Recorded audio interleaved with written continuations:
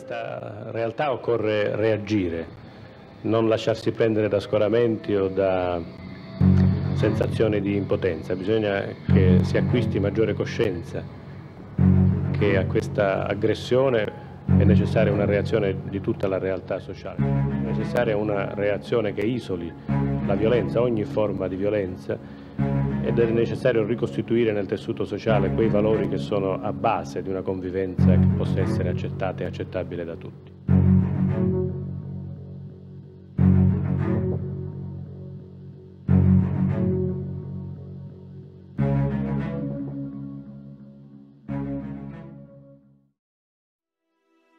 Piersanti Mattarella nasce a Castellammare del Golfo, in provincia di Trapani, il 24 maggio 1935.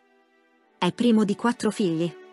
Suo padre Bernardo, esponente di primo piano dell'Azione Cattolica, è un militante del Partito Popolare.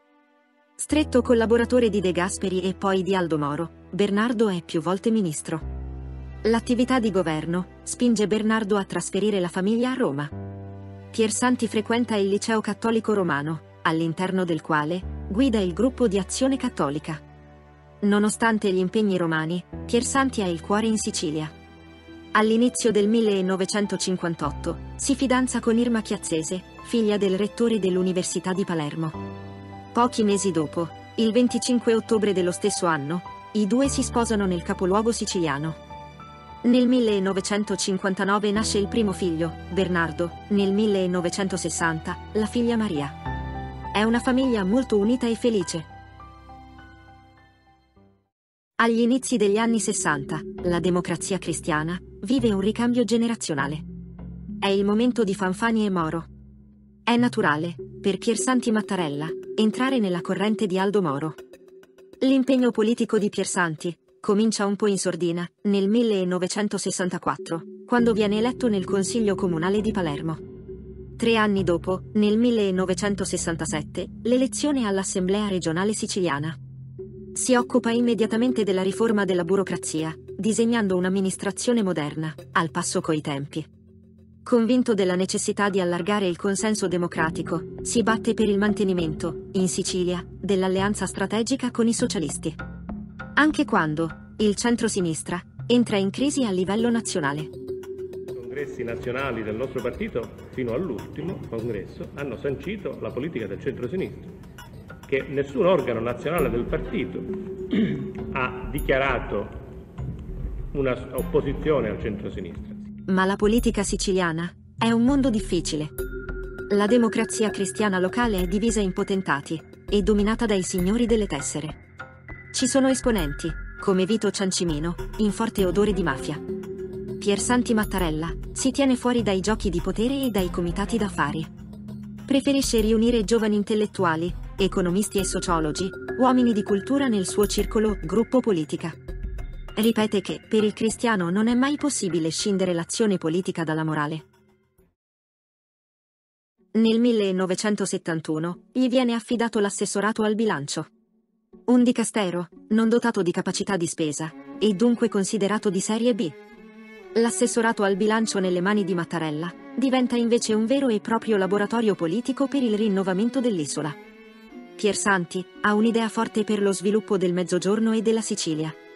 Elabora riforme, progetti, innovazioni.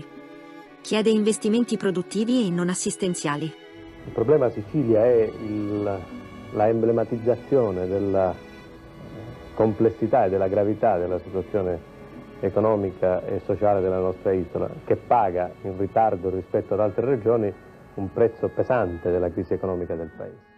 Tendeva a far quadrare i conti, tendeva a pareggiare il bilancio, ma contemporaneamente tagliare le spese improduttive. Insomma, era tutta una regione che si doveva presentare, come diceva lui, con le carte in regola, con i conti in ordine. La politica delle carte in regola è la frase manifesto di Piersanti Mattarella. Un principio che stravolge i costumi politici palermitani. Piersanti coniuga le istanze democratiche e cattoliche e, per la prima volta, apre ai comunisti. E a livello nazionale si pensa che sia arrivato il momento di un incontro eh, nell'area di governo di, delle grandi forze popolari, la DC e il PC.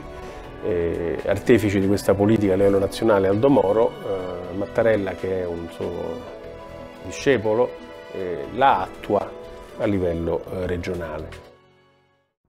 All'inizio del 1978, nel momento in cui il Partito Comunista si mostra disponibile ad entrare nella maggioranza in assemblea regionale, Piersanti Mattarella è il candidato naturale per la presidenza. A 42 anni, è il delfino di Aldo Moro, l'uomo nuovo della democrazia cristiana. È il 20 marzo 1978 e la regione Sicilia vive una svolta storica. Mattarella riesce a formare una giunta composta da democristiani, socialisti, repubblicani e socialdemocratici, con l'appoggio esterno del Partito Comunista. Maggiorenti della DC pensavano che fosse una, eh, una candidatura di transizione, in realtà invece Mattarella prende saldamente eh, il suo ruolo di presidente e fa il presidente governando e riformando la regione. Un giorno Piersanti mi venne a trovare nel mio ufficio portando lui delle carte e mi disse Luca studia e dimmi come pensi tu tecnicamente che bisogna comportarsi. E io dissi a Piersanti qual è la conclusione alle quali devo arrivare. Piersanti lanciò in aria le carte. Mi disse tu devi dirmi quello che professionalmente pensi che debba fare poi io politicamente decido il contrario firmando un atto diverso da quello che tu mi hai proposto. Tu assumi le tue responsabilità, io mi assumo le mie responsabilità. Una lezione straordinaria, l'insegnamento del primato della politica. Piersanti Mattarella ha appena cominciato a lavorare, anche se ancora non si è insediato. Quando tutto cambia. È il 16 marzo 1978. Aldo Moro nelle mani di un comando delle Brigate Rosse.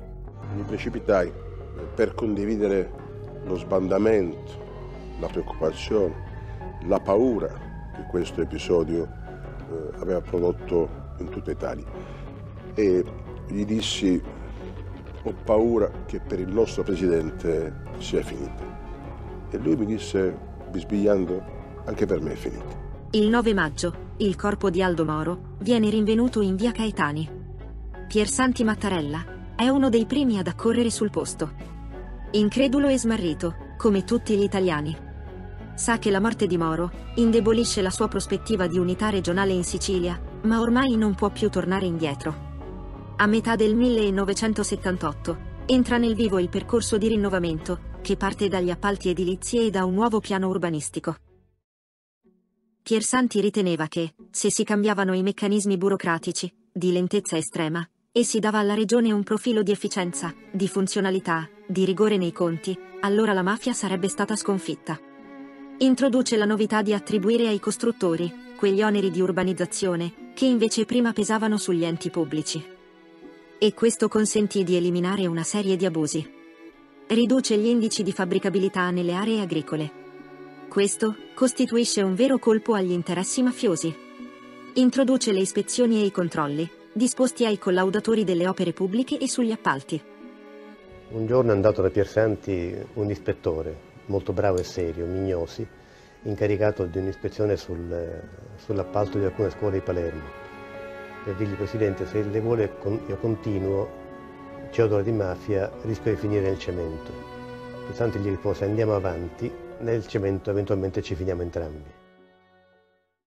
Nel 1979, il Partito Comunista decide di ritirare l'accordo con la democrazia cristiana e di conseguenza, in Sicilia, il governo Mattarella perde il sostegno dei comunisti. Mattarella passa indenne da questa crisi politica ed è stato riconfermato alla guida di un nuovo governo regionale. A Palermo, Cosa Nostra, ha aperto la stagione dei delitti eccellenti. Dopo Mario Francese, giornalista de Il Giornale di Sicilia, ucciso il 26 gennaio, il 9 marzo, viene assassinato Michele Reina, segretario provinciale della Democrazia Cristiana. Oggi ci ritroviamo qui perché nella nostra città, nella nostra regione è stato consumato un'aggressione barbara, vile, crudele, violenza che finisce con l'avere lo stesso obiettivo, l'obiettivo di scoraggiamento, l'obiettivo di non partecipazione, l'obiettivo di cercare di estraniarsi da quella che è la vita pubblica. Piersanti Mattarella è consapevole che il suo impegno antimafia lo sta isolando all'interno del suo stesso partito, dominato in Sicilia da Salvo Lima e Vito Ciancimino. La mafia, intanto, a luglio uccide il poliziotto Boris Giuliano e a settembre il giudice Cesare Terranova. I corleonesi hanno dichiarato guerra allo Stato. In quel periodo Santi Mattarella era molto preoccupato del ritorno di Vito Ciancimino all'interno della DC siciliana. Ne andò a parlare con l'allora ministro dell'interno Rognoni, ma evidentemente tornò piuttosto insoddisfatto io sono convintissimo che papà, soprattutto nell'ultimo mese, eh, fosse consapevole di correre gravissimi rischi per la sua persona. E, e credo che proprio anche nell'ultimo mese alcune abitudini fossero cambiate proprio in considerazione di questa sua preoccupazione, che però non aveva mai manifestato a noi. Anche dagli atti del, dell'inchiesta eh, si evince che in alcuni casi lui si era preoccupato di lasciare qualche traccia con i suoi collaboratori raccomandando sempre che non ne fosse fatta parola né con, né con mamma né con noi e neanche con Sergio. Piersanti voleva che la questione Sicilia fosse portata a livello nazionale. Invita il Presidente della Repubblica, Sandro Pertini, in Sicilia. Pertini accettò e capì l'azione di rinnovamento di Mattarella e ne diede pieno appoggio. Abbiamo ancora dinanzi a noi ostacoli e resistenze notevoli e non ce ne nascondiamo il peso.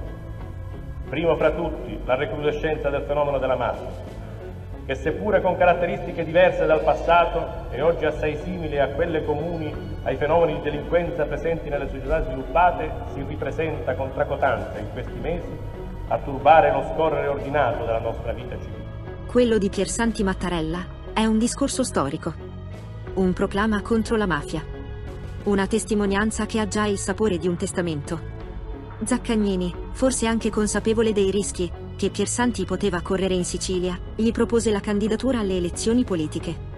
Mattarella rifiutò, poiché gli disse che doveva finire il suo compito in Sicilia da presidente della regione. A dicembre del 1979 i familiari notano un forte cambiamento di umore da parte di Piersanti non è più allegro, gioviale come al solito, è molto preoccupato.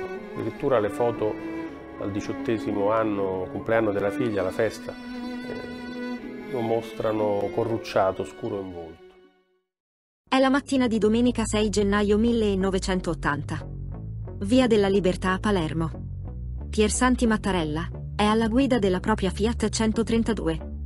Si sta recando a messa, insieme alla moglie, la suocera e la figlia Maria. Un sicario si avvicina all'automobile e lo uccide con colpi di pistola, attraverso il finestrino. Dopo i primi colpi, la pistola si inceppa, ed il killer raggiunge un complice e cambia pistola. Torna indietro ed esplode altri colpi, che feriranno ad una mano la moglie del presidente, la quale cercava di proteggere il marito.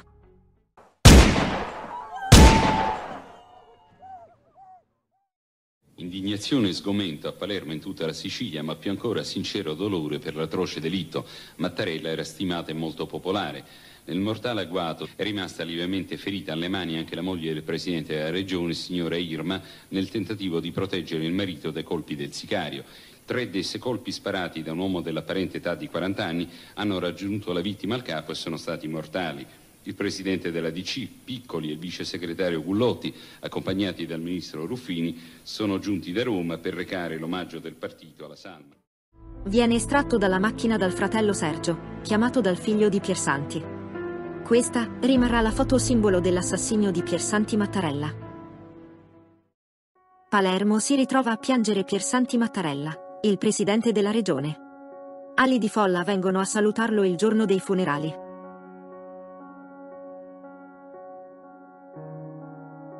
Ed anche il cardinale Pappalardo fa sentire la sua voce. Perché è stato ucciso Piersanti Mattarella? Una cosa sembra emergere sicura ed è l'impossibilità che il delitto sia attribuibile a sola matrice mafiosa. Ci devono essere anche altre forze occulte, esterne agli ambienti, pur tanto agitati della nostra isola, Palermo e la Sicilia non possono accettare o subire l'onta di essere l'ambiente in cui ha maturato l'atroce assassino. Quest'uomo era veramente un galantuomo, un uomo giusto e coraggioso, come ha scritto il presidente Pertini. Mattarella è stato definito un uomo onesto, limpido, educato, di altissima levatura morale, al di sopra di ogni sospetto e meritevole di incondizionato elogio. sentimenti di angoscia e sgomento. Addio, Mattarelli, addio.